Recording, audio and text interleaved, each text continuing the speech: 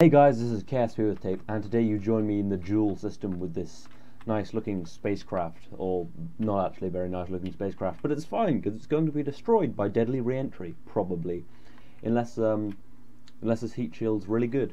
Uh, so I was thinking, um, a lot of my spacecraft survive deadly re-entry, and that's boring. And then I was thinking, you know what destroyed spacecraft really well was deadly reentry with rescaled Kerbin because of the faster speeds. And then I was thinking, could you really aero brake around Jool with um, with deadly re-entry? Um, I'm not going to aero, aero. I'm just going to go for a low periaps and try and burn this thing up. I just want to see what happens. So I'm going to test various spacecraft. Um, and don't worry about me. I am modding them into orbit. I don't have time to fly them all out. It is actually Christmas Eve, but I've run out of things to do and um, really wanted to try this. And I just quite like making videos, so you know. Anyway, so we're coming closer to Jool now. Um, keep it pointing retrograde, because I want to be burning... I'm going to leave the solar panels open, so at least something smashes up. But yeah, this is a fairly standard... Uh, um, I've put lots of things on the side so they might burn off, and you can see uh, RCS cans next to mystery goo containers are quite different. I didn't know they were that different in size, but you know.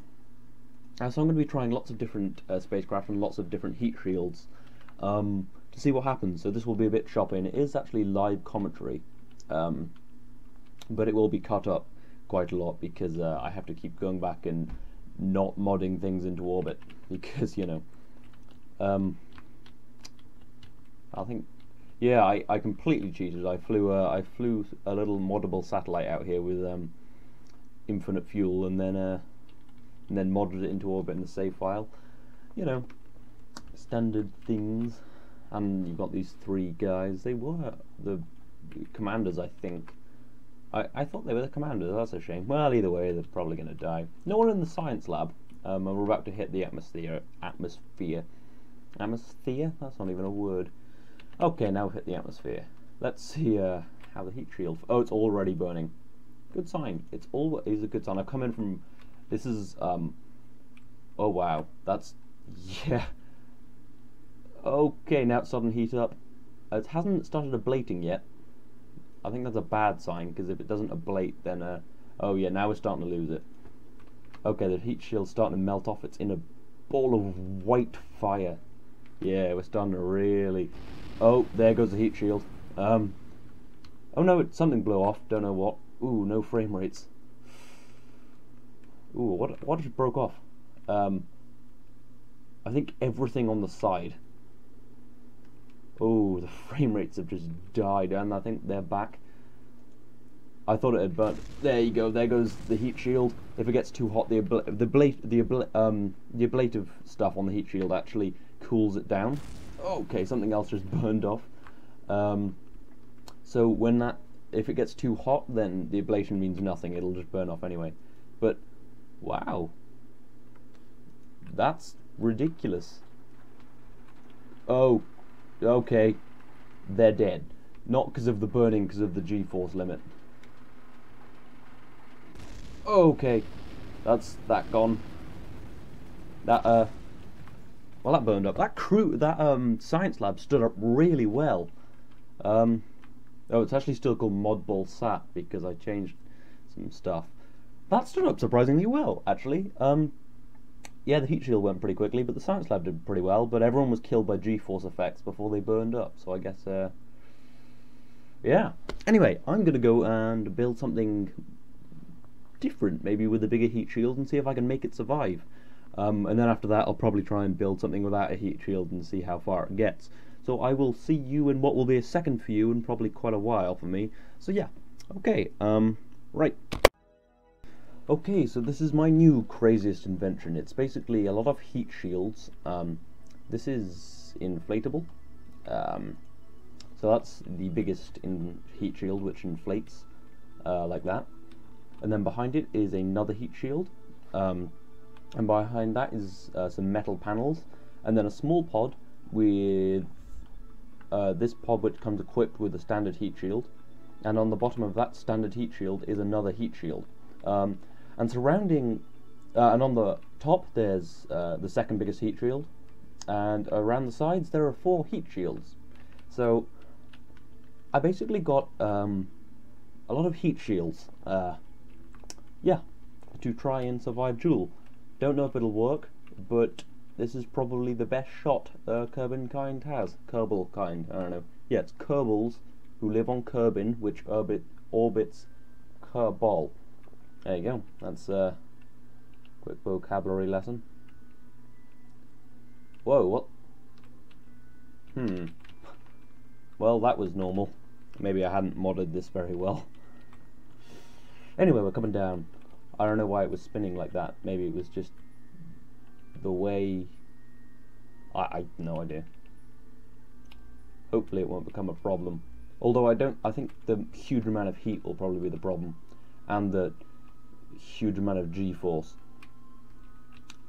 Now, there is um, a way you could slow this down, which I often use, is by like putting um, solid rock. Okay, this isn't uh, an ablative heat shield either, so I'm not sure how how well that's going to fare. But you could um, put a bunch of solid rocket boosters and slow it down a whole bunch, but that doesn't sound that fun. Um, and whoa, it's white hot. It's getting kind of warm, and it has a little uh, display, which is the same as this. Oh no, it's done tip. Okay, luckily it's covered in heat shields. Okay, okay, this is bad. That top heat... Gotta... Oh no! Gotta decouple this. That top bit won't stand up to it. There you go. Oh god. Oh god. Oh no, gotta get rid of this. There you go. Gotta flip it back round because...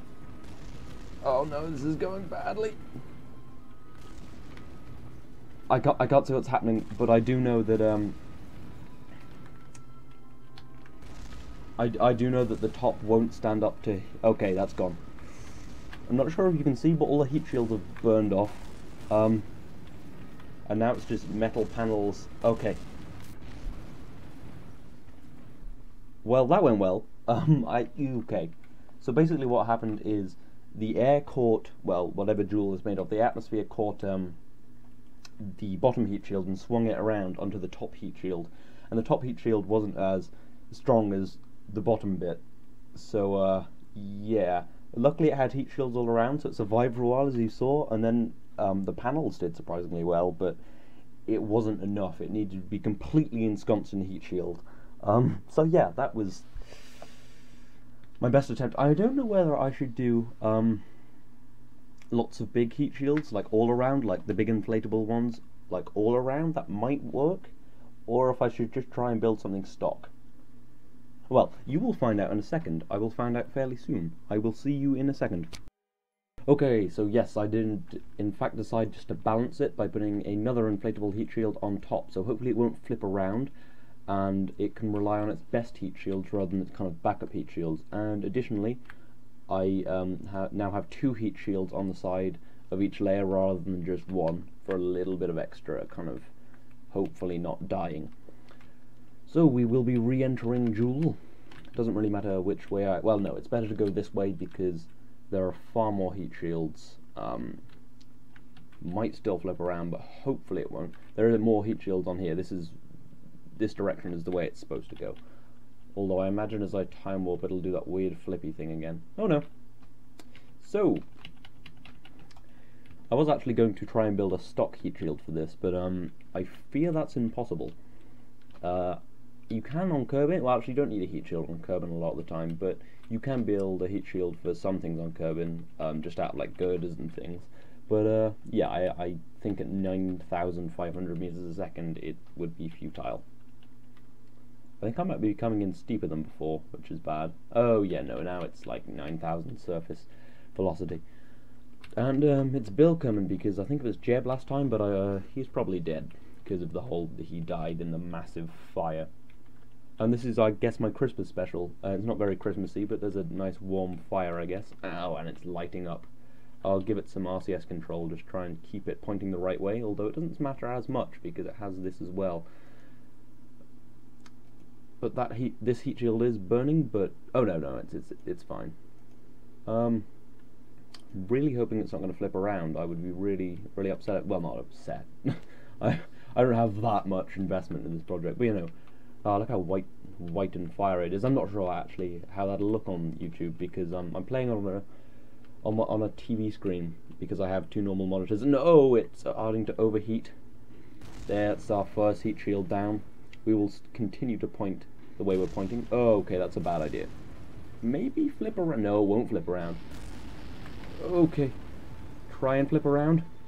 Maybe. I think it's still going. I mean, the frame rates have gone. Okay, now we're inside the capsule. Oh, the capsule's free. Okay, it still has a ablation. Oh, it's dead. so, yeah.